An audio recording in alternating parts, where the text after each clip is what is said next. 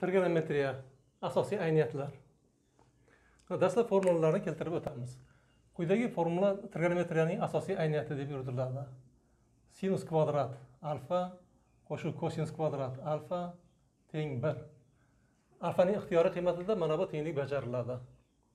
Bu tenglikdan bu ayniyatdan bir nechta formulalarni keltirib chiqarishimiz mumkin. Masalan bu tenglikni har ikkala tomonini kosinus kvadrat alfaga bo'lsak u holda bu yerda tangens kvadrat alfa qo'shuv bir teng. Bir taqsim kosinus kvadrat alfa. Mana bu ayniyat hosil bo'ladi. Yoki bo'lmasam birinchi tenglikni sinus kvadrat alfaga bo'lsak u holda bir qo'shuv bu yerda kotangens kosinus kvadrat bo'lib sinus kvadrat. Kotangens kvadrat alfa teng bir taqsim sinus kvadrat alfa formula hosil bo'ladi. Bundan tashqari agar tangens alfa sinus alfa taqsim kosinus alfa ekanini hamda kotangens alfa kosinus alfa taqsim sinus alfa ekanini hisobga oladigan bo'lsak tangens alfa ko'paytirib kotangens alfa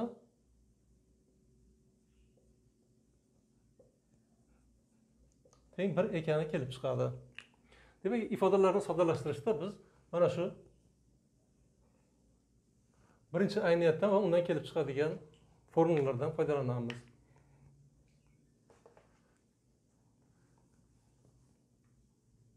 Endi misollarga chiqib o'tamiz.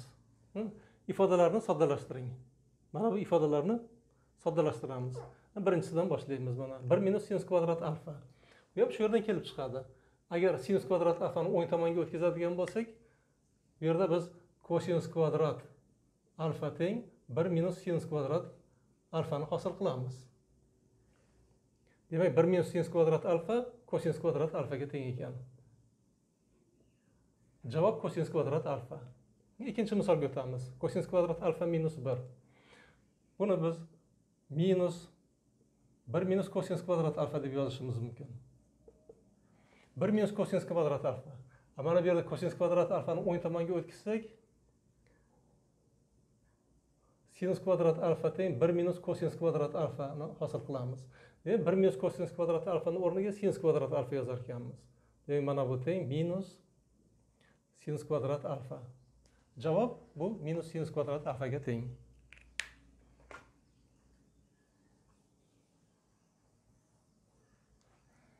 Navbatdagi misol ifodani soddalashtiring.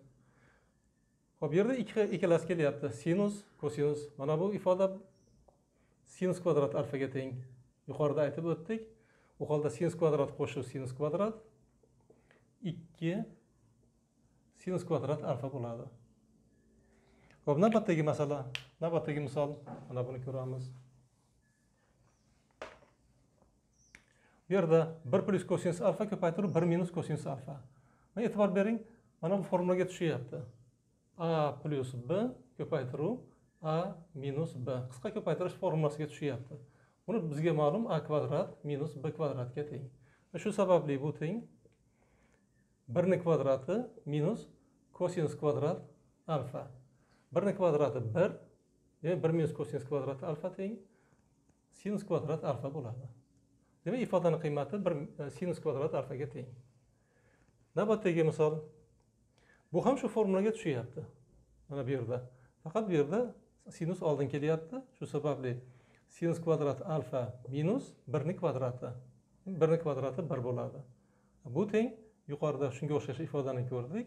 Minus kosinus kvadrat alfaga teng. Navbatdagisi mana ifodani soddalashtiring.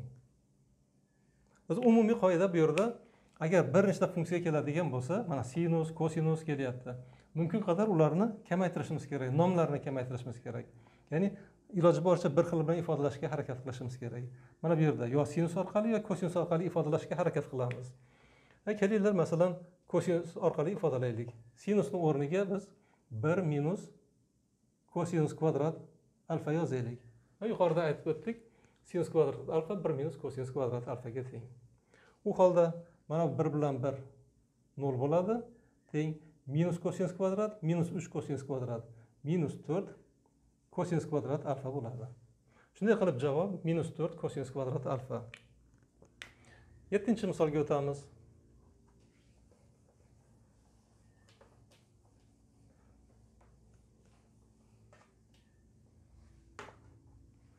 Bu yerda ham qavslarni ochamiz.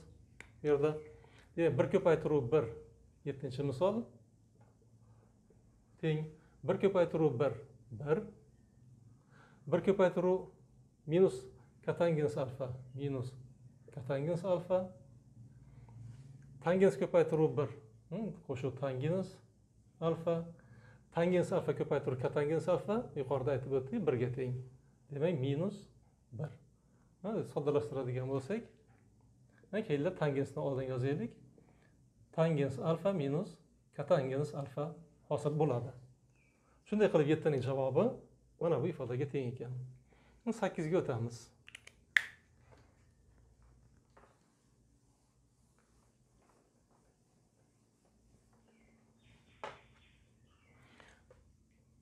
Dastlab suratini ko'rib chiqaylik.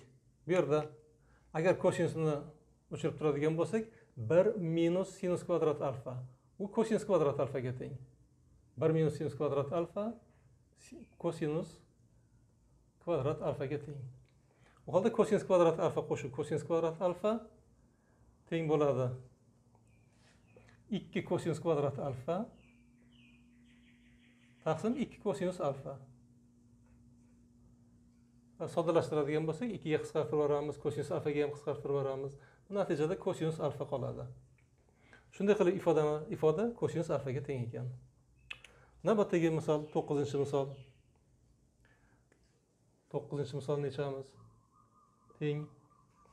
Hop suratida bir minus sinus kvadrat alfa kosinus kvadrat alfaga teng. Mahrajda bir minus kosinus kvadrat sinus kvadrat alfaga teng. Va yana plyus bir. Hmm, plyus birni yozamiz. Va umumiy mahrajga keltiramiz. Teng. Suratda kosinus kvadrat alfa qo'shuv sinus kvadrat alfa. Bo'luv sinus kvadrat alfa. Surat kosinus kvadrat plyus sinus kvadrat birga teng. Demak bu yerda biz bir taqsim sinus kvadrat alfani hosil qilamiz. Mana bunday hosil qildik.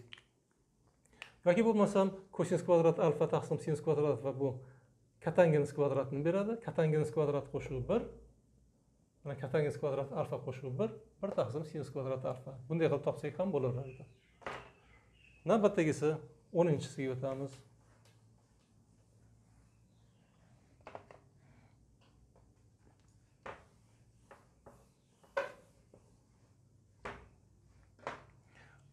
Bu yerda dastlab tangens tangens bu hmm, mana bu ifodani soddalashtiradigan bo'lsak.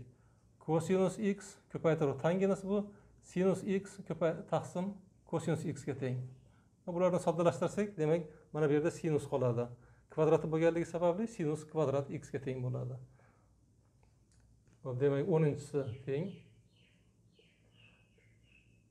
Sinus kvadrat x qo'shuv.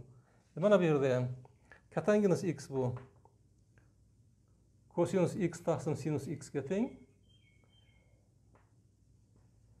Bu sinus xni o'zini yozaman. Bularni soddalashtirsak kosinus x qoladi. Kvadrati bo'lganligi sababli kosinus kvadrat x bo'ladi. Teng. Sinus kvadrat qo'shib kosinus kvadrat birga teng. Demak bu ifodani qiymati birga teng. Albatta bu yerda ifodalarni aniqlanish sohasida qaraladi. Masalan tangensda sinus taqsim kosinus bo'lganligi sababli mahraj nolga teng emas deb qaraladi. Ya'ni kosinus x nolga teng emas